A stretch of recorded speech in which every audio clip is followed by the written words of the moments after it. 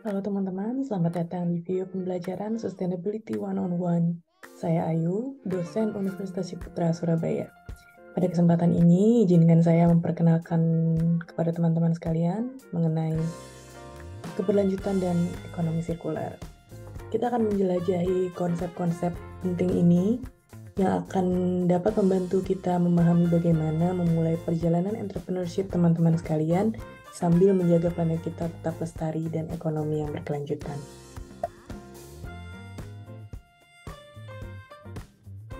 Keberlanjutan sesuai dengan bahasanya adalah gagasan tentang menjaga keseimbangan antara kebutuhan manusia saat ini dan kebutuhan generasi mendatang agar dapat terus lestari.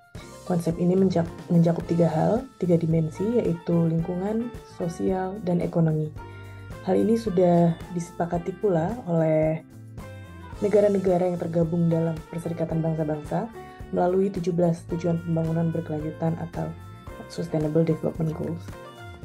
Nah, mengapa ini penting ya teman-teman uh, konsep ini?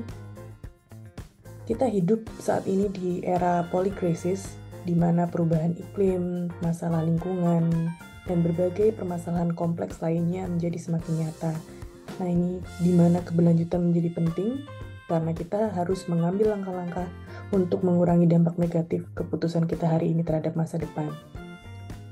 Kita lihat berbagai uh, berita belakangan ini bukan hanya pemanasan.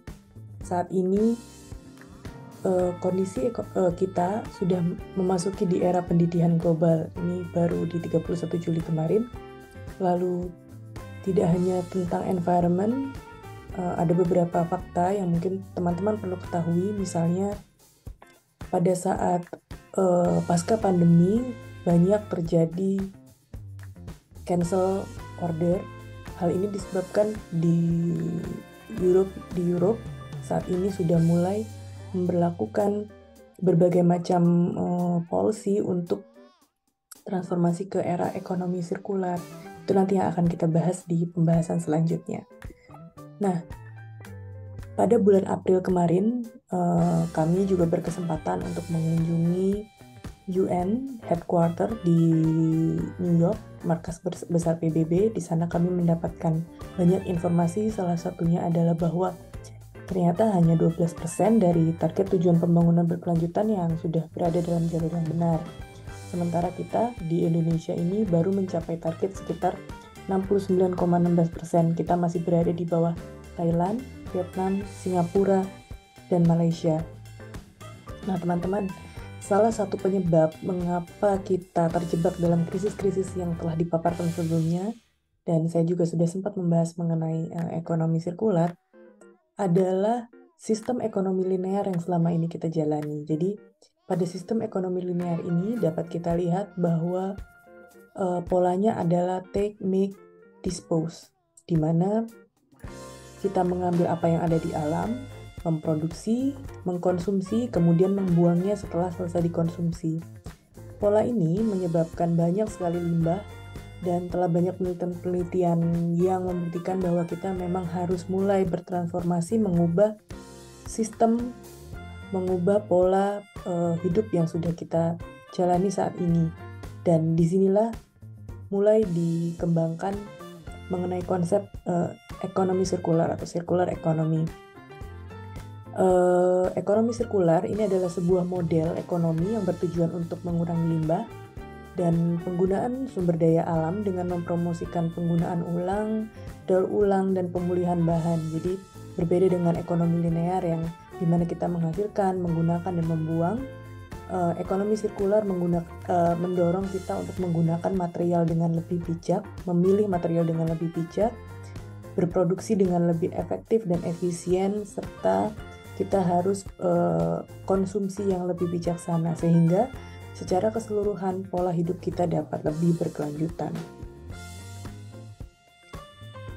Ekonomi sirkular ini uh, mendukung tujuan keberlanjutan, jadi dengan meminimalkan pemborosan, kita dapat mempertahankan sumber daya alam yang terbatas dan juga dengan adanya reduce, reuse, recycle, refurbish dan juga renew ini adalah beberapa uh, beberapa strategi yang bisa kita lakukan untuk mengurangi tekanan terhadap lingkungan dan juga kita dapat berkontribusi pada pengurangan limbah dan transformasi kepada ekonomi sirkular.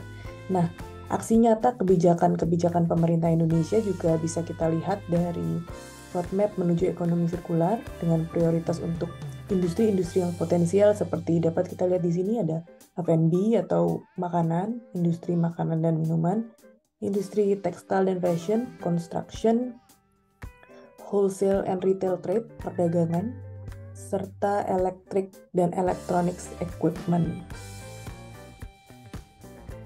Nah, teman-teman, uh, ada banyak cara di mana kita bisa berkontribusi pada keberlanjutan dan transformasi menuju ekonomi sirkular.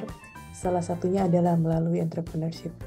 Jadi, kami mengajak teman-teman untuk berkontribusi untuk bumi, manusia, dan ekonomi yang lebih lestari melalui entrepreneurship journey yang akan kalian uh, lalui selama di BMK Universitas Ciputra.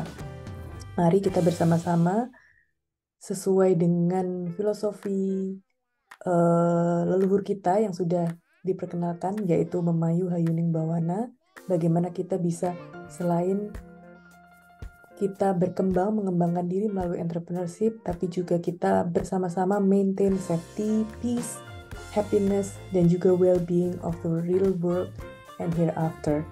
Terima kasih telah menonton video ini. Jangan ragu untuk berbagi pengetahuan mengenai keberlanjutan dan ekonomi sirkular dengan orang lain. Dan semoga apa yang eh, kami paparkan hari ini bisa memberikan masukan atau pandangan atau inspirasi teman-teman untuk uh, entrepreneurship journey-nya ke depan. Semua tindakan kita berarti untuk masa depan planet kita. Sampai jumpa.